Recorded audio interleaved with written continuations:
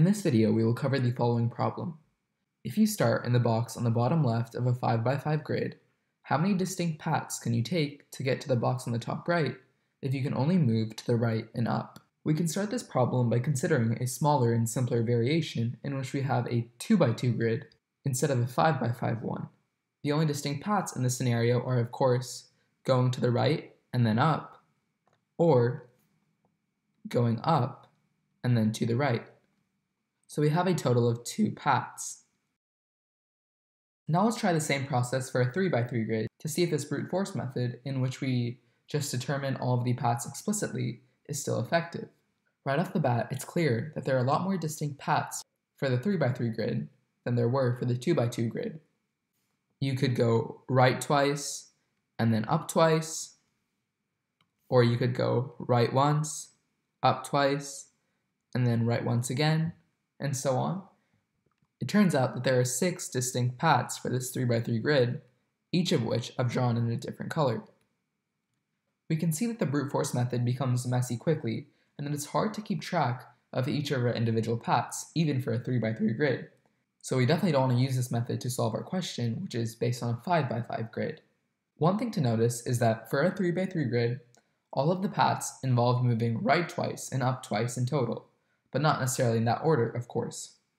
We can extend this logic to our 5x5 grid to determine that to move from the bottom left box in our grid to the box on the top right, we need to move right 4 times and up 4 times in total. This leads to a total of 8 moves. If I label these moves M1 through M8, then one possible path would be to move up on moves 1, 3, 4, and 7, and move to the right on the rest. Another distinct path could involve moving up on moves 1, 2, 5, and 8, and right on the rest of the moves. And so essentially, this becomes a problem of finding out the number of ways to choose 4 spots out of 8 to move up in, as the remaining spots are guaranteed to be moved to the right. So the total number of distinct paths is nothing but 8 choose 4, or 70. But let's not stop our exploration of this problem here. Let's consider the same problem for a non-square grid. Let's say its dimensions were instead 3 by 4.